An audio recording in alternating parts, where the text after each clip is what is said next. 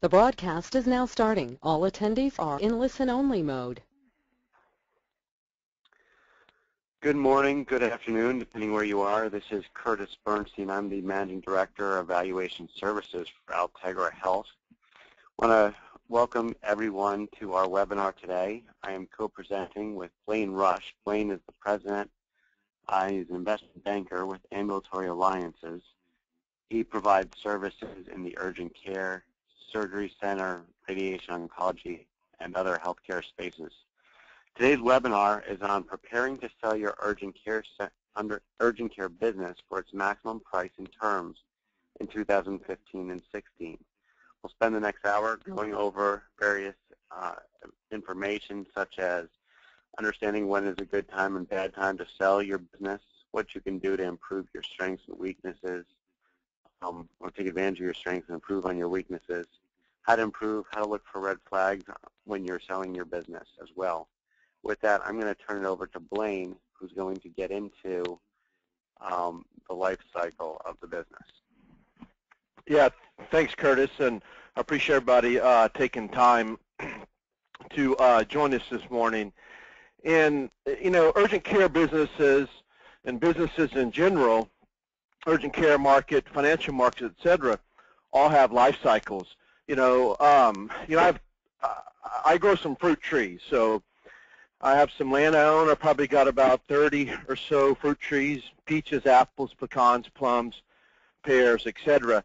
And the cycles of those fruit trees are well uh, recognized. They sprouted, they grew, they flowered. Those flowers turn into fruit.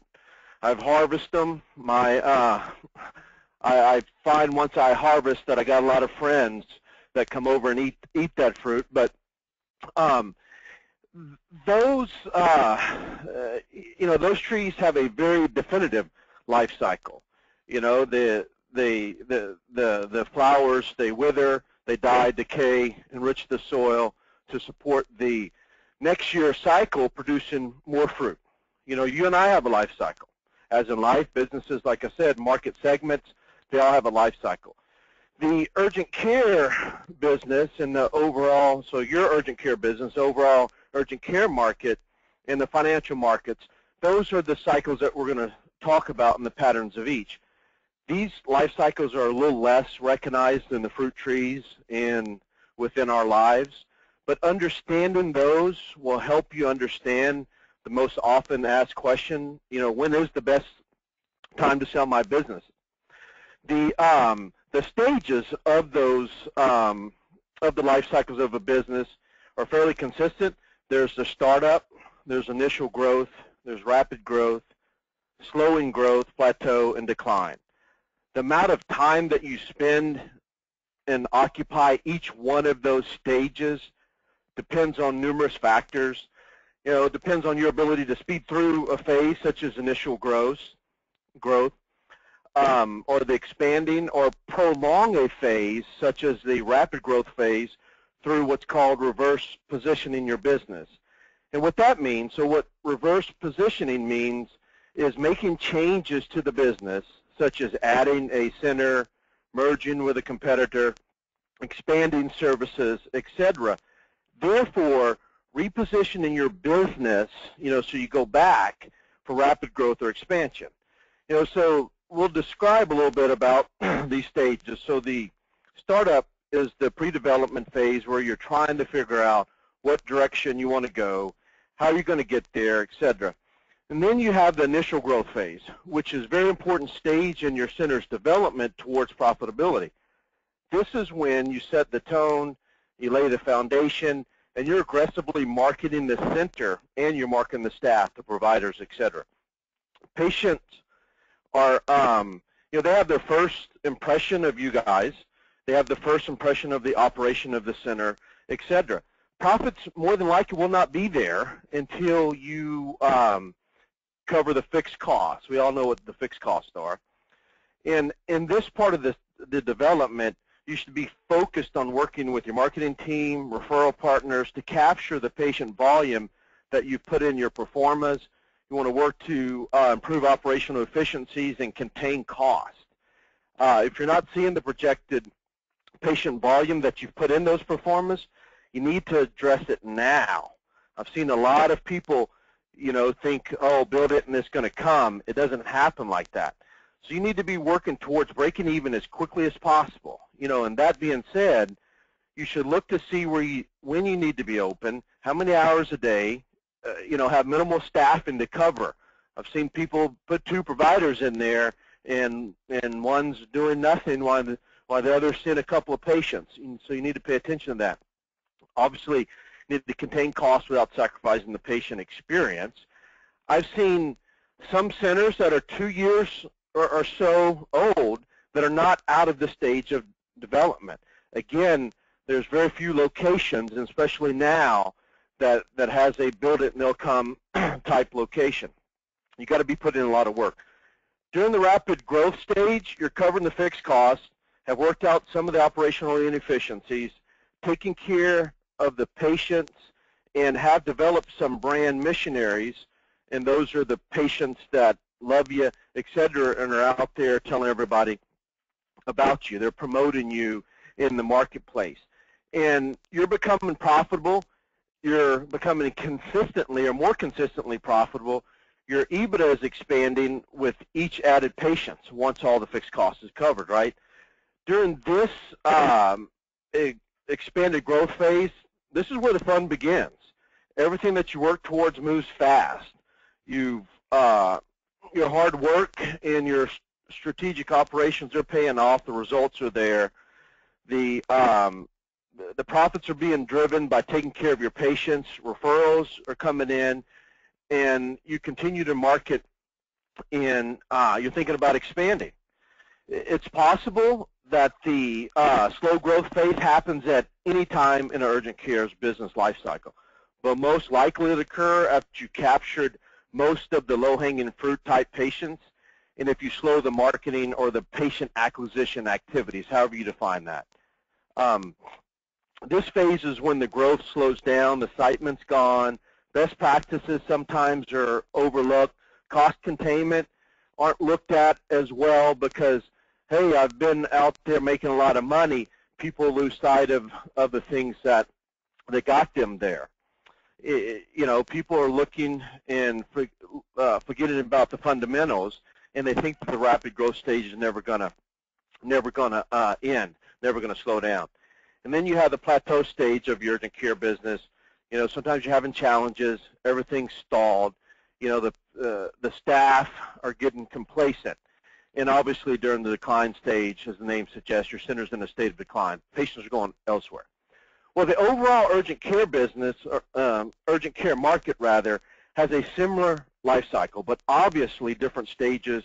Uh, they have different stage attributes. Um, at the as the market begins to mature, you'll see con consolidation start to increase, and you start to see different models uh, be implemented as well as expanded services. I think we all understand that the financial markets are very uh, cyclical. Um, equity and debt make up the capital markets.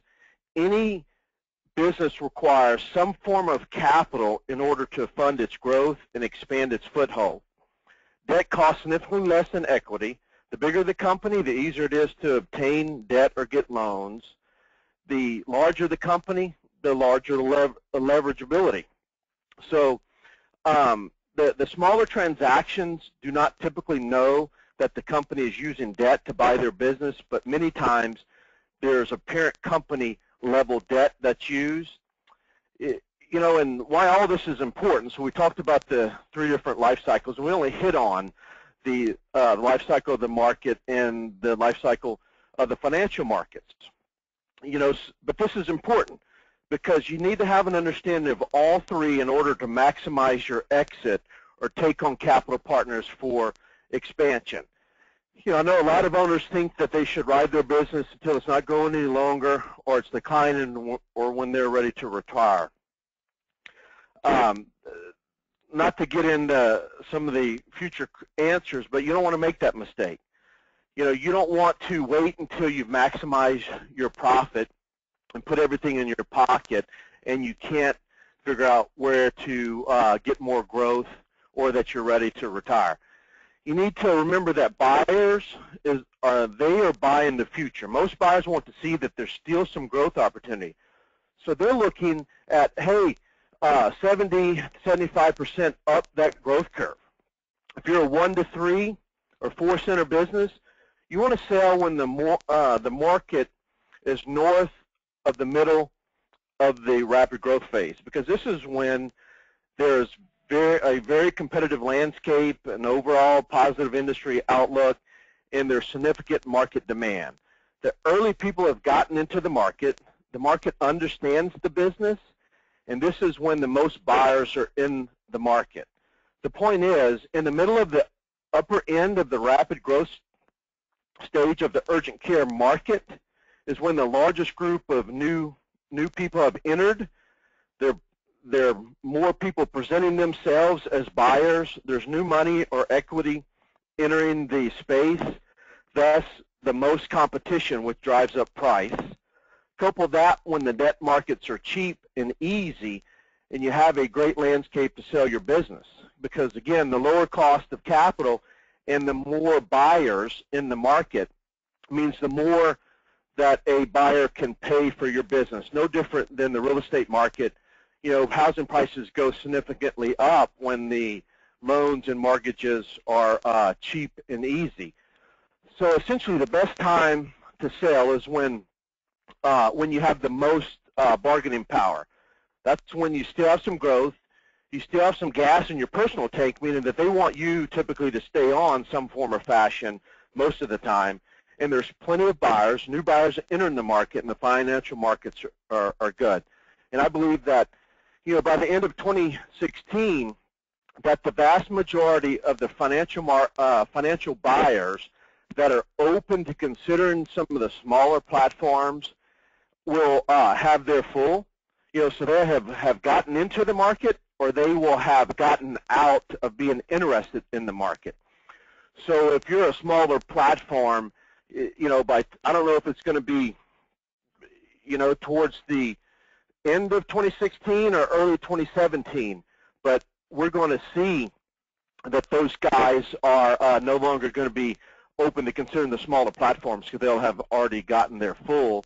We'll see still a significant number of the one to four center types align with management companies' health health systems over the next few years, and they'll still have a very attractive multiples you know, the, the financial markets are very, very good right now. Debt's cheap. So um, it, it's, it's a very good time for those smaller platforms. And we'll see this, the, the one, two, three, four centers, they'll still have a, a lot of life for the next, you know, eight years. But um, it, it's, it's still a good time. Curtis. Thank you, Blayne. Uh, next question we're going to get to, is there a bad time to sell urgent care center? So going off what Blayne was saying, obviously the best time is during the growth section. There, I would say there really is not a, a worse time to sell it because there's a, a, reason to sell it as you're as you're going through. Um, for example, you may not want to sell it during the rapid growth phase because you want to continue to earn as much money as possible off the urgent care center as as the urgent care center continues to grow, and you can do that without a a um, a private investor, you know, if you so choose. But obviously, then you are, if you do try to sell it later uh, in the decline phase, when if you're a physician, you're looking to retire. Uh, as Blayne mentioned, you're not going to get the same level of multiples. So, going through the life cycle here on the slide, you know, we can go through the different phases, and it does it make sense to to sell an interest at startup, and if you're if you're a single physician, let's say, and you want to start an urgent care center, and maybe you don't have the funding available to you, and you can bring in a private investor to make that happen, then I, you know, you have to guess, sell sell at startup. Is it the best time to sell? Definitely not, because at the end of the day, when you start up an entity, the way the ownership is going to be divided is based on what it takes to actually develop the entity. So there's going to be certain costs to build out space, maybe buy space, buy equipment, initial working capital to take on staff as you are not collecting on your receivables. and there's a certain amount that will take it'll take to create that entity, and let's just call that for simplicity's sake, $2 million. If you're selling a 50% interest to a private owner, then all that private owner is going to put in right now for that 50% interest is $1 million, so half of the $2 million, and they're going to get 50%. You're obviously not capitalizing on that investment at that time because there hasn't been any track record of success and growth. So that private investor will get a lot higher return if the entity uh, is successful and grows through through these different phases. Um, as Blayne mentioned, the rapid growth period obviously is the best time to sell because there's a lot of excitement and, and opportunity out in the market, and that's what buyers are looking for. And if you have the earnings, they'll pay the higher multiple. As, as the entity starts to plateau, you may need to bring in a new owner to to create more of that motivation and excitement and back into the market, whether it's a new position or it's a partner that might be able to work with plans and bring in new insurance plans into the urgent care center and better reimbursement rates, whatnot. But but as you hit that plateau, similar to the line here, uh, the life cycle, it's kind of the multiples as well. The multiples are going to start to to settle down and plateau. Uh, but you know, like I said at the beginning, I don't think there's really a, a worse time because you may have a reason and a need to, to sell at a certain time as you're going through that that cycle. Did you have anything to add to that, Blayne, before we move on to the next question? Well, the only point to add is, you know, because uh, we're at a point where there's a lot of centers going up in, in certain geographies. And one of the challenges could be, say that your center is just up the road from another center and that center gets acquired. You know, so my, my whole point is, yes, you could, if, if your interest is to maximize your exit, meaning the dollar amount paid to you when you sell, you have to just be uh, be looking at all of the different important items, uh, and obviously, like Curtis said, sometimes you just have to sell, but that's not necessarily the best time to sell. So I don't know if the the right question really is, is there a bad time to sell? It's probably just, uh, there's probably better times to sell. I guess that's the only point that, I'd make.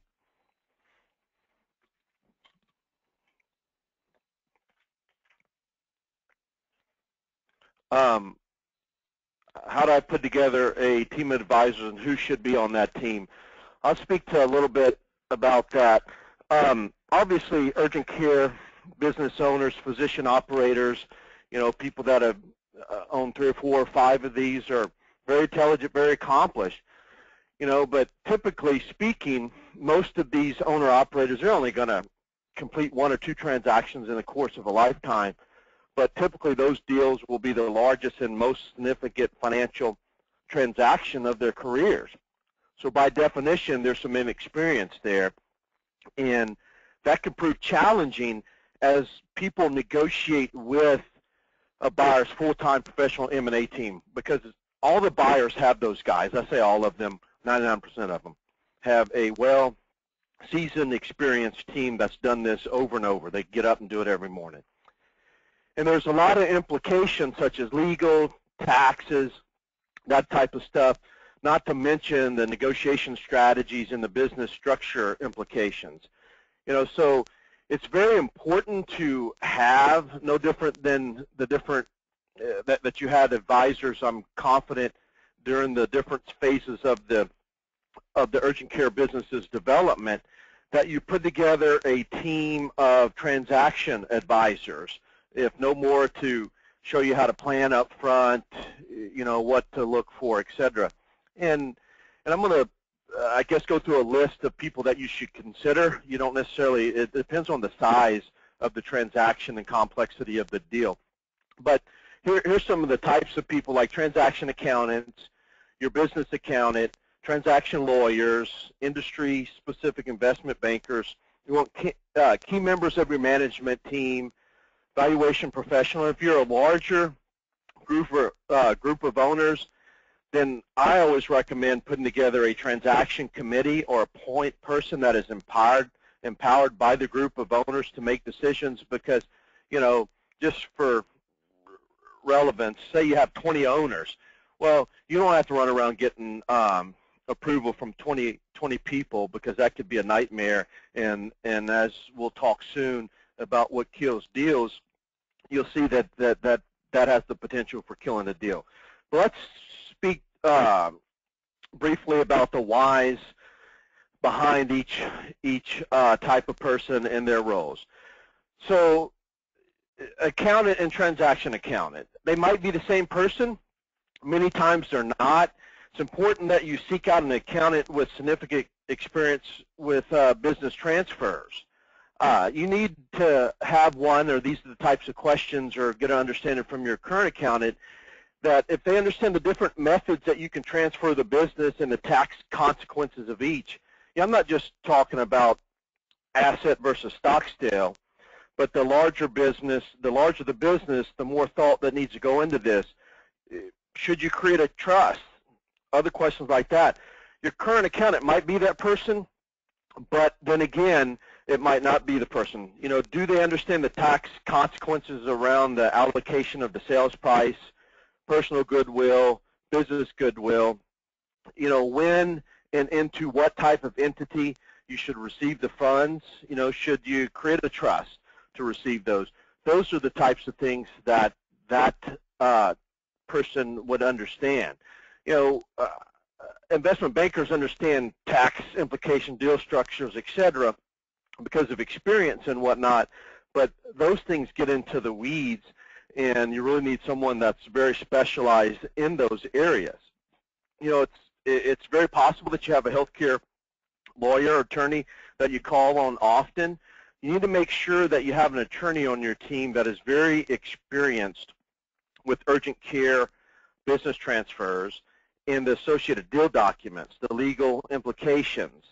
And more importantly, and sometimes this is overlooked, the temperament to make sure that the deal does not stall because they want to debate an issue that's not very important there, um, you know, there's a lot of contracts and terms such as warrants and reps, uh, indemnification clauses, insurance requirements, you know, transitional service agreement. Then you have the STARK, the any kickback, et cetera, all those types of very specific healthcare uh, laws that you have to uh, follow. And and so this is very uh, this is more important than most people understand you know, the, the lawyer that just defended you in a lawsuit or your wife's cousin that set up your will and estate planning, you know, that might not be the best person for this role. Um, industry-specific investment bankers, you know, the ones that have experience and are complex, they understand the process of preparing, preparing your business all the way to funding. So they understand it end to end. They understand valuation issues. They understand uh, tax issues. They understand legal structure and how best to position your business and to manage the process uh, and to negotiate with the the buyers' deal teams. You know, it's uh, they understand the the urgent care business down into the weeds typically. They know the market, they know the buyers, they know the decision makers within the buyers. And uh, it's very important that that you prepare your business uh, and your business mindset, and they they will help you. Um, they understand the red flags, they understand the pitfalls, and they understand them before they come up. So they'll be able to prepare and say, hey, this is going to happen. You need to prepare for that because these things um, these things die. So deal dies 200 times from hello to funding, you know, and and and there's all kinds of pitfalls. So you need to at least seek some advice uh, out there. Uh, you'll need someone from your senior operations team. That person is going to obviously know what's going on, so you need to be someone you trust very deeply because they'll be responsible putting together the due diligence because there is a significant amount of due diligence, and we'll speak about that in a little bit, that that will have to be collected and shared at the right time. And again, if you have a large group of physician owners, important that you get their buy-in, uh, but it's too time-consuming to get permission from each partner every step of the process. Thus, again, we recommend setting up a small transaction committee that's empowered. Obviously, if you are if just one or two owners, that's the that's the transaction committee. Um, third-party valuation uh, professionals. You know, the majority of the time, and Curtis can speak more to this, but the buyers would be the person that engage a valuator. Uh, but if you're doing some complex business adjustments prior to the sale of the center, um, and depending on the buyer and how the negotiations goes, you might have a need for a third-party valuation in order to justify the prices negotiated. And and we know we do that, so we understand valuation, but we're advocates. We're seen as an advocate for the seller, and third-party evaluators are just that. They're supposed to be impartial, third-party, etc.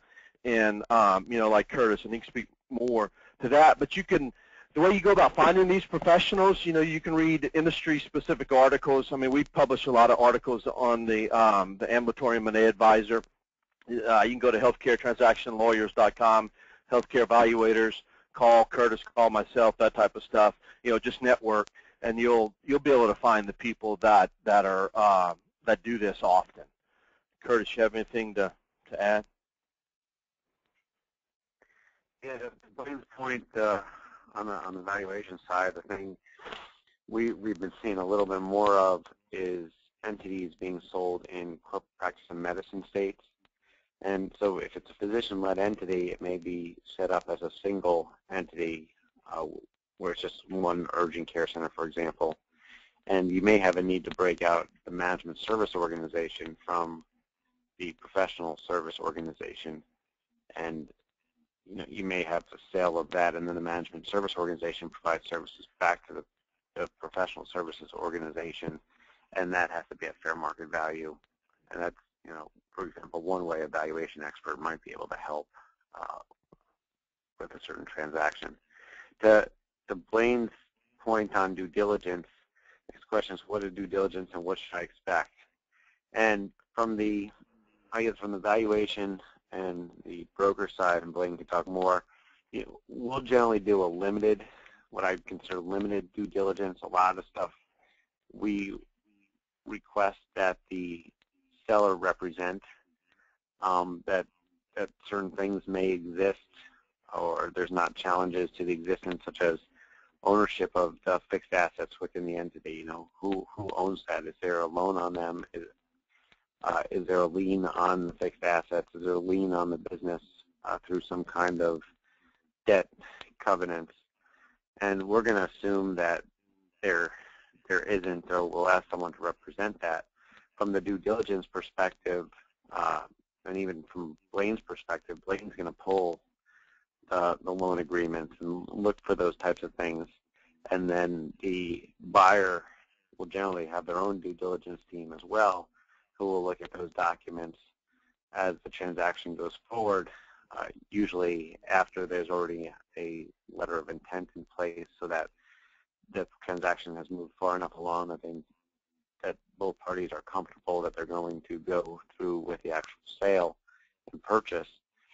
Uh, they will they will have all those documents and pull it, and there's going to be a whole team usually, uh, depending on the size of the entity and and the scope uh, of the entity, but there will be a whole team on the buyer side that performs due diligence. So, for example, financial due diligence from a valuation perspective, we assume income statements are fairly clean. We like to use tax returns uh, because at least we know a CPA has looked at it prior to filing it with the IRS, and you hope when you file it with the IRS that they're not fraudulent. I mean, that obviously there's no guarantee to that, but from the buyer's perspective, they'll generally have their internal accountants um, look at the financial statements or do some level of of a audit or review of those financial statements to verify that they're, they're reasonable. Various areas within the financial statements, such as uh, human resource and benefits, seeing, making sure that the, the benefits of all the employees of the entity being purchased, uh, can continue and if they're going over to the benefits of the buyer, what that looks like ultimately as part of the sale. Uh, the payer contracts, are those transferable?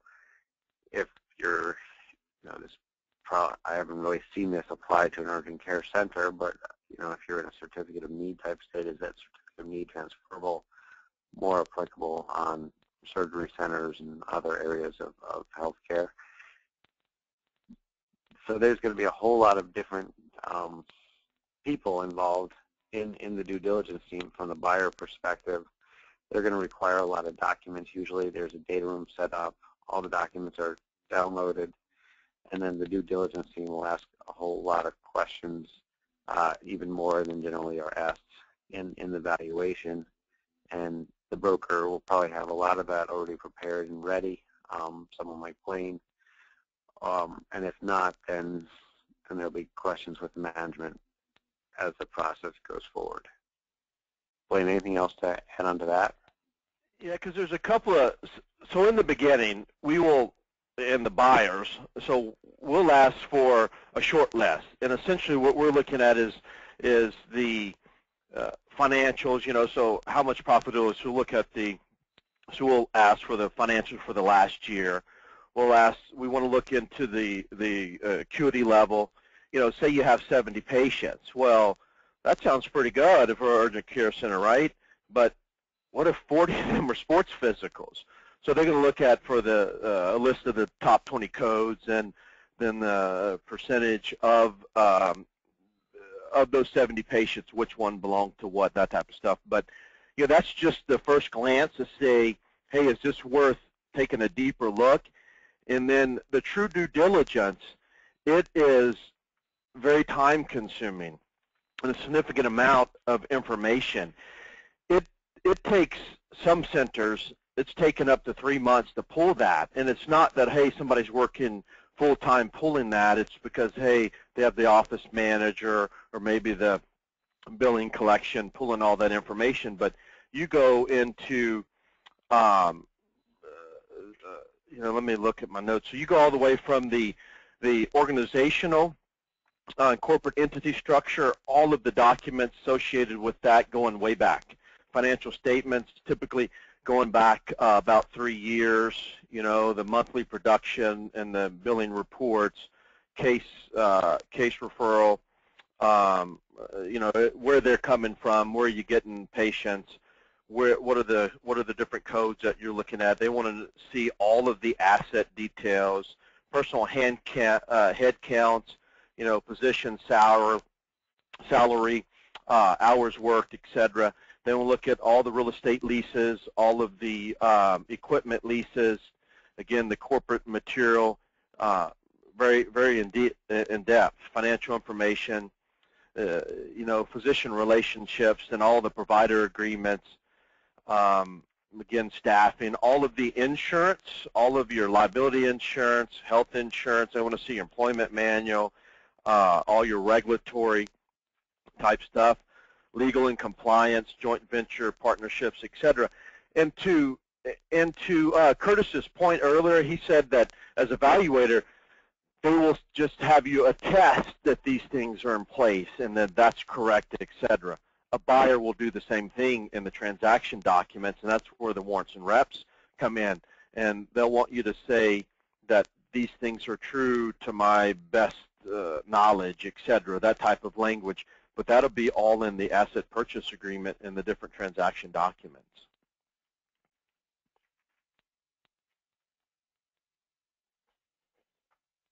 Next question is, how can I determine my competitive differentiators and market opportunities?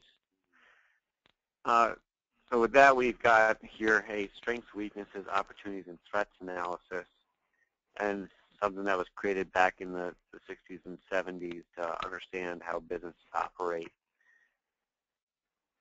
what you can do is go through here and try to understand. So if you look at it, the top, the strengths, and the weaknesses are really how you operate now. The opportunities and threats are how do you um, either improve, uh, take those strengths, improve on them, use them within the market, uh, or take your weaknesses and what are the opportunities uh, out there for you to improve on those. The threats are okay, I have this strength, but there's something out else out in the market that might be happening that can threaten uh, that strength. And then obviously weaknesses and threats, if they're combined together, that's the worst part for your business. So example of, you know, the strengths, as, as Blayne mentioned earlier, you, another, another urgent care center might be forming somewhere uh, within your market.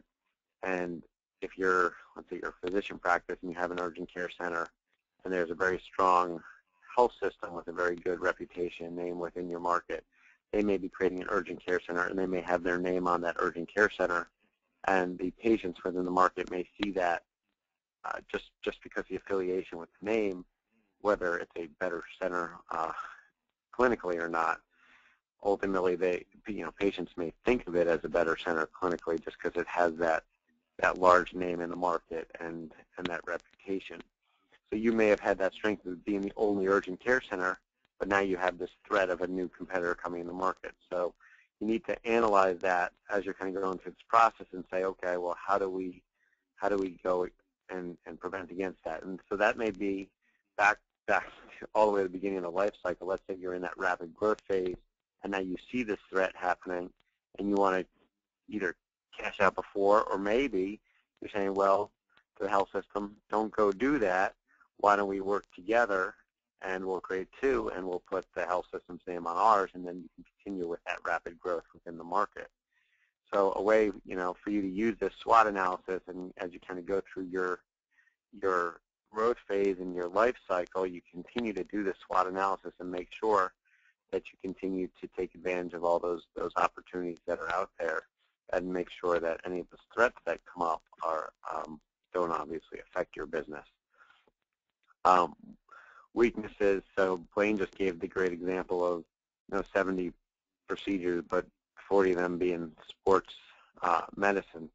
So you need to look at that as you're selling and kind of going through the process and say, well, how do I diversify more? How do I get more cases and become more diversified? And that, that will obviously drive up your multiple because when you're a buyer, you don't want, if, if their, let's say, their high school sports physicals, and you have an agreement with the high school, well, at the end of the day, if that agreement goes away, then it significantly affects the business of that urgent care center.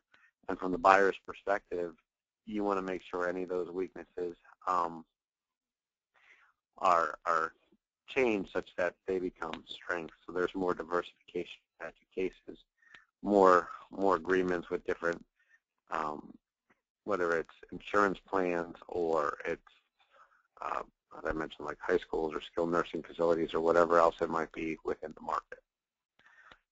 Blayne, did you have anything else you want to add to the question yeah, on so, competitive differentiators?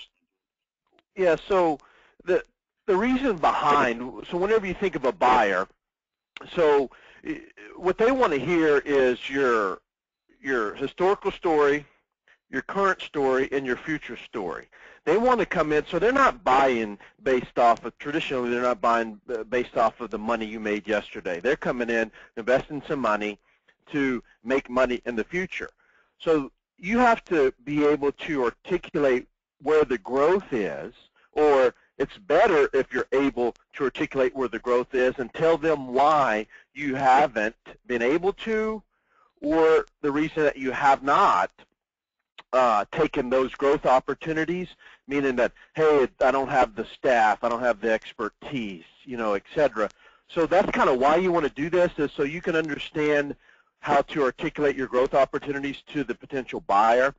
And and some of the one one of the things that's kind of popular now that I'm dealing with and I'm actually negotiating for a couple of clients and we've written a significant amount of articles on is aligning with an ACO. Essentially, you'll be a provider versus, so you'll be on the outside versus the inside. And you're going to save those guys a significant amount of money. So that's an opportunity if you haven't done that, but to be able to go, once you do this and say, okay, here's the uh, different entities that I can have a relationship with, so it's an alliance, quote unquote, versus a joint venture or whatnot, that I can improve my my uh, patient volumes through creating some sort of relationship because you're going to make that ACO money by saving them money and keeping their people out of the ER. And depends on what other types of services that you do. Uh, I have one client that does uh, infusion centers, so they take direct referrals. So some of those ACO um, uh, docs will refer patients over with pneumonia, um, low acuity uh, COPD, that type of stuff, and they'll give them their meds in their infusion center, keep them out of the hospital, which saves them a lot of money. And another tool that you'll use with this SWOT analysis, because this is a comparative analysis, right? So the uh, Urgent Care Association has their benchmark study. I think it just came out not that long ago. And so you can benchmark yourself against against other other urgent cares in your market, uh, you know, because they might they, they break it down pretty good and nationally, et cetera, see if your contracts are any good, et cetera. We'll get into some of the other things that, that you can do uh, whenever we get to the question around what will the buyers do after they buy you, and if you can do some of that stuff before you go to market. So that's all I had to say. With that, we've kind of gone over weaknesses and how to determine, so we'll, we'll move on uh, for, for sake of time as well. Well, next step, what steps do buyers typically take to improve an urgent care business after a purchase, and how can I do this prior to sale uh, to increase the value? Yeah, so there's uh, there's a few things that um, that that buyers can do, and I really didn't know this question was coming right up. I would have just went into it. Um, you know, so what they're going to do is uh, they're going to come in and look at and possibly make adjustments to, uh, for improvements, and they're all related around the value drivers. And more specifically, they'll look for ways to decrease cost, increase revenue, increase efficiencies, obviously working to not jeopardize the patient experience because that's the biggest component of what we do, and uh, not jeopardize patient experience nor the quality of care. You know, but I've seen a lot of these uh, transactions, a lot of books, and done a lot of due diligence on a lot of different urgent care centers across the U.S. And even in the most um, aggressive markets, many owners of urgent care business, they leave some substantial amount of money on the table when they sell their business. You know, most often because they don't truly have a, a handle on what they can do to maximize the multiplier basis. What that is is the the the, the profits and the multiples, et cetera. Or they don't want to invest required time and effort, but the SWOT analysis will will get you to this stage of understanding this stuff. Um, you know, however, the buyers, that's what they're in the business of doing. So they will take the time, they will take the effort to make these changes after they purchase your your center. So kind of the question to to ask yourself uh, to be able to answer should I do it or should I not is do you want uh, multiple of the pro the profits derived from the changes that you do, or do you want a buyer to pay you less and earn more post post transaction? So let's look at a few of these things. So they'll look at the case cost. They'll say, can you reduce the case cost by working with a different vendor, uh, consolidating suppliers, pushing for better pricing, or uh, using different supplies that do uh, that do not lower quality. You know, and some of these guys obviously have bargaining power and leverage, et cetera, but that's something that you should look at because as we go through this list, none of these are, oh my God, I just saved a hundred thousand. You know, these are all small steps that add up to big things, big dollars. And the reason that's important is something that Curtis and I uh, presented on at the Urgent Care Association a little while back is that, you know, of every dollar of profit, say you sell your center for five or ten times profitability. You know, that's just, it's a little more com complex than that, but just for easy math. So if you sell it for five times and you find $50,000 worth of uh, profitability that you can squeeze out, that's $250,000. You know, and if you sold it for 10 times, just you do the math. It, it, it gets, you know, it grows, so it's important. You know, so look at your uh, staffing level and right-size that. They're going to look at that. You know, do you have too many clinical personnel? Do you have a staff full of nurses doing what MAs can do? You know, you're a clinical operator. I'm just, you know, so I don't, I'm not going to get too far into that, but I've seen it over and over. Did a transaction, you know, I think they let, uh, they changed one or two of the nurses in this urgent care business, and they added a front office staff person. So they needed more people to interact with the patient, but they had more uh, staff than they thought uh, in the clinical side. So that was a change that they made right after, or actually during transition. So before the deal closed, they knew who was going to go with the new co. Um, look at your cost per minute and see if you can gain any efficiencies there.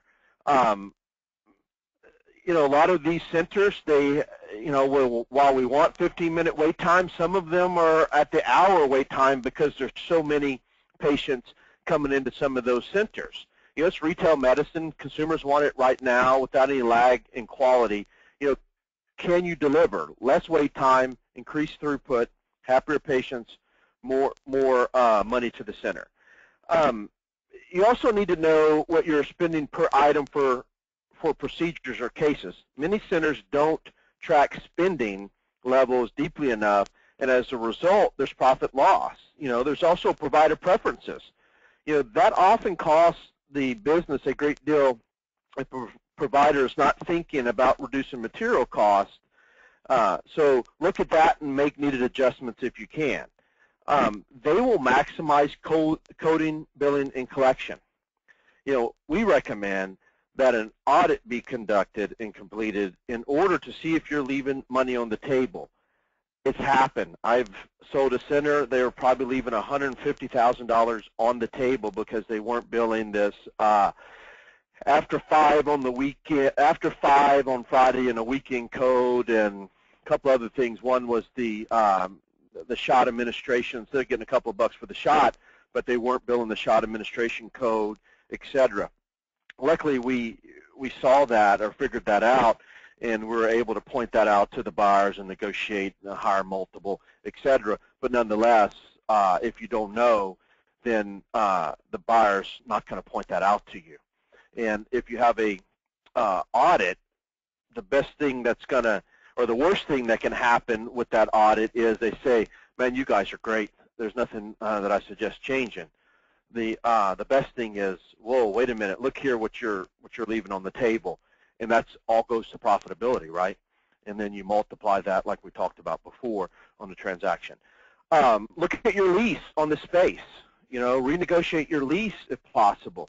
You know, obviously, if you lower your expenses, you improve and uh, improve the profits.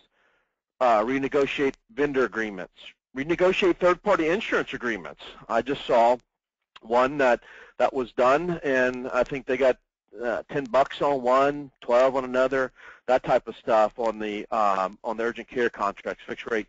Um, you know, if if if you're a platform, they'll ensure that your leadership team is up to the rapid expansion, and and so you need to make sure that you have a good leadership team in place. Um, you know, those are just a uh, few examples of what uh, some of these guys will look for and what they'll do. Uh, Curtis, you have anything to add? Uh, no, that's a pretty good answer. Um, we do have a question from the audience, which probably would fit in here. But Blayne, um, what kind of issues have you seen or do you consider when the seller uses the cash basis method of accounting, but the buyer uses the accrual basis method of accounting? Well, it obviously depends on the complexity of the transaction. I would tell you that the majority of the smaller, you know, the uh, the mom and pop setups, you know, the one centers, two centers maybe, they all use a cash uh, cash basis accounting. What you have to do and what they'll do is because cash based accounting, and Curtis is the CPA, but uh, cash based accounting doesn't take into account uh, the the pay time off that's accrued, and, and so there's a lot of things that it doesn't account for. And so what you'll have to do is just convert that. So that you'll either convert it in a pro forma, so they'll ask questions about, hey, what what what PTO hasn't been uh, hasn't been put on the books and that's still out there. And the way that they sum that, the way that they take care of that is actually in the uh, documents to say that you're responsible for all of uh, paying all that out at closing. So they'll go and get a list of that type of stuff, and they will require you to pay for it before or at closing. It's not a big deal on the smaller transactions. As you get a little bit bigger, then they'll dig into it a little bit more. My personal opinion is that I believe that the buyers see a lot of inefficiencies in the smaller transactions, meaning where they can come in and say, oh, I can save money here, here, here, and here, that they're less worried about it. Um, but again, as the, as the transaction size gets larger, it becomes a bigger issue, and we'll have to be more aggressive or more organized in how we do it and would have to convert, if not on an Excel spreadsheet, actually um, in the um, in the accounting software. Right. A couple on the cash basis versus the accrual basis. The other, the other things I I see, I like to think of some stuff as like a modified cash basis that really uh, concerns me. For example, a entity might record a receivable on their balance sheet, but that receivable is at gross instead of net. And then you need to figure out, I mean, from the accounting side, uh, just kind of nerdy accounting stuff. Every debit must have a credit, right? So if there's if there's a receivable, that that other side has to be somewhere probably in revenue, which means revenue might be overstated. Uh, so that needs to be figured out and, and cleaned up before any transaction. That that could get pretty ugly if people are just recording receivables with, uh, at gross.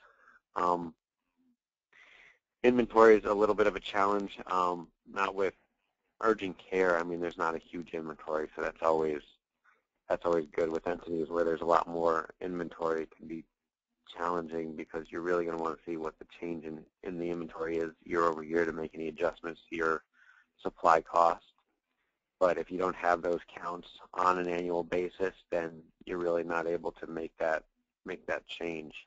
So it's always good, I think, just to do an inventory from an operational perspective. And as you're going into a sale, you can say, okay, well, here's where the inventory was last year, even if it's not on your on your balance sheet. That is, Curtis, that will be part of the due diligence process. So, you know, it won't be necessarily early on because, like you said, uh, urgent care, as far as the consumables, isn't, um, you know, it's not like a surgery center or something that have implants or whatever. Um, but we would list out the um, the supplies, or, or, at least approximate, and then there would be a requirement, something along the lines that there's uh, 30 days worth of supplies at the day of closing in the urgent care center, something along those lines. Yeah. Uh, next question, what are some of the typical red flags and how do I address them when preparing my urgent care business for a sale? And, and I think we've done a really good job uh, over the last 45 minutes uh, or more here talking about a lot of that um, with the red flags, such as threats and, and when to sell and, and stuff like that. I don't know, Blayne, did you have more that you wanted to add? Yeah, because there's question? a couple that, that are like big issues, big rocks, okay, that, that, that come up that I see more often in these transactions. One is uh, provider credentialing with payers. You know, say that you have a, a mid-level and, uh, you know, uh, they get paid something like they're unsupervised if the physician doesn't see the, uh, the patient their reimbursement for a lot of the payers something like 85% uh, versus the physician's 100%. They're going to look at that and they're going to dig on that type of stuff. Um, having actual providers, having them locked up, having enough providers is a big issue. We we've had some trouble in uh, one of the 200 times a deal dies, right, was about providers. And uh, they typically want the main physician provider, if that's the person that owns, to stay on. And uh, and it's more critical. Uh, uh, well, it's uh, they won't do the deal if it's in a remote location and they have to go turn around and recruit a physician supervising provider. Same thing with PAs. You know, we've had some staffing issues in some of the uh, clinics we have to shore that up, and we get on that early because I know that's a big rock. Um, they'll so so they'll look at that regulatory issues, a, a big deal. Um, going through a little notes here. Um, remote location. You know, the further away your center is from uh, one of the buyer's assets, the better organized and ran it has to be. Uh, you know, you need to have a good office manager that they feel comfortable with, et cetera. Uh, pending litigation, regulatory issues, lease expiring, uh, those types of things are, um, are, are some of the big deal. But the provider uh, and getting the scheduling and all that type of stuff will kill a deal. Um, so those are kind of the, the main things. Yeah, something I really haven't seen an urgent care deal, but would probably come up uh, would be terms terms of a real estate lease agreement. A lot of times physicians may put a entity, I mean I've seen this come up in physician practices where they've rented space from a hospital and as part of that there might be a right of first refusal or the ability to terminate the lease upon a sale. And that'll come up, for example, if you want to bring in, you may rent in some medical office space that's owned by the hospital, may not be on the hospital's campus, but at the end of the day, you want to bring in another system as your partner for some reason. And if that happens, the hospital that you're leasing from may have the ability to just kick you out of the medical office space. And I, you know, obviously with your location and stuff like that, that'll be challenging. Yeah, what I've seen in those is sometimes there's a first right of refusal type setup. You know, so what they don't want, so say you're in, you know, uh, Joe Blow General Hospital's medical office or a, a retail center that they own or whatnot, they don't want the competing hospital to come in and be able to set down in that space. They typically won't have an issue, you know, selling to a national management company or buying to them, et cetera. And, and while that does, it could hurt you a little bit in your ability to go out and create competition and leverage the competition against each other. That's why you have to make sure those things are worded just right in the sense that it covers what their issues are, but does not, quote unquote, cut your legs out from underneath you in the sense of um, uh, not being able to go out and create competition and, and be able to get uh, market rate or market dollars for your urgent care center whenever you or if you do have an interest in selling. Just got to be careful. We have a, uh, a few questions here that are very similar, so I'm just going to kind of combine them together. But Blayne, what does the buyer market look like in the next few years? And then what are multiples look like um, both now and the next few years for like a one center urgent care center, three, uh, like a company with three urgent care centers, and even a larger company that may have 10, 15 urgent care centers? Yeah, so uh, we touched on kind of the buyer market earlier, and I'll repeat that. But so I believe that uh, by the end of 2016 or around 2016, so it might be some six months, uh, give or take, at the end of 16, that the financial buyers that are interested in the smaller platforms, because you know, not to get in depth about the, what the profiles of the financial buyers, but you know, if you have an EBITDA of five million or, or, or better, you have the attention to everybody. And there's enough people that have enough interest in this space that they've dropped that down to if all the other items, the other important things are taken care of, they'll go down to a million dollars in EBITDA. So they don't want a one center that's making a million dollars in EBITDA because that's not a platform possibility. But they've dropped it down to those numbers.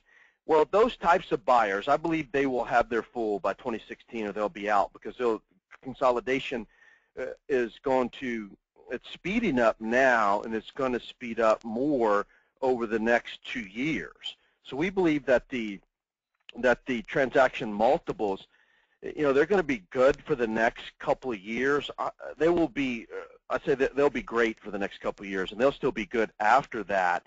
But the big deal is that debt is cheap and easy, and these larger companies are are uh, are being able to get money for cheap, And so we believe the next two years are going to be a very good time because I think we'll see the, the, the, the largest number of buyers be in the market by that 2016 date. And that creates competition, which obviously drives up, drives up, drives up multiples. So let's talk about multiples for a second. And multiples are confusing because everybody wants to talk about multiples, right? And and you'll hear a water cooler talk and, and you'll go say, Dr. Joe, I heard that you sold your chain of urgent care centers. What did what multiple did you sell them for? For I promise you I won't tell anyone, right? And he says, I sold my chain of urgent care centers for a 15 multiple. And you're like, oh my God, you're going to tell everybody that one, right? And then you go to the buyer and said, hey, I heard that you bought Dr. Joe's chain of urgent care centers. How much did you buy them for? I bought them for a five multiple. Well, somebody's got to be lying, right? Well, no, neither one of them's lying. And this is, uh, you know, a fairly accurate example of a transaction that happened in the space.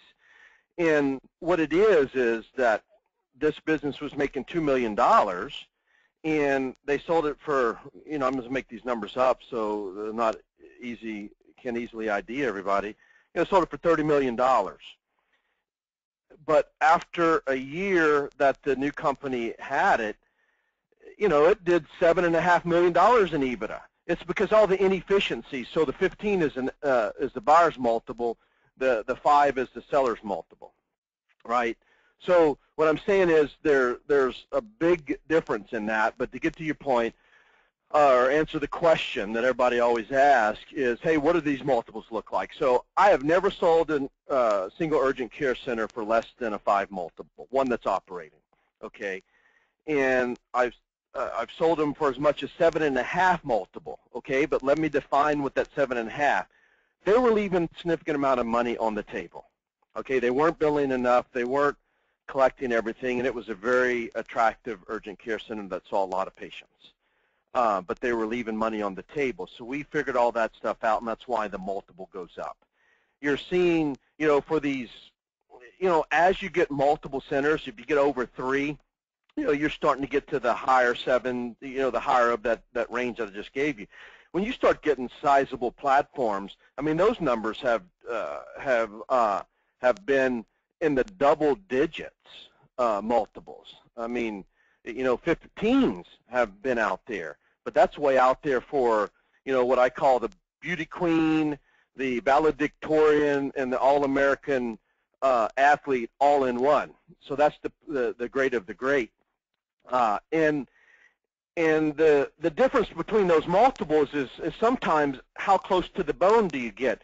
Well, the recast. So we talked about recasting, adjustments, all of those types of things. So the more aggressive that you try to argue uh, the adjustments, you know, you should give me credit for synergies, okay, for the allowable synergies, meaning, hey, my costs are going to go, these costs are going to go down as long as it's legal through the anti-kickback and Stark and all that stuff. You make those arguments. Well, they might say, okay, we'll give you that, but then the multiple uh, comes down.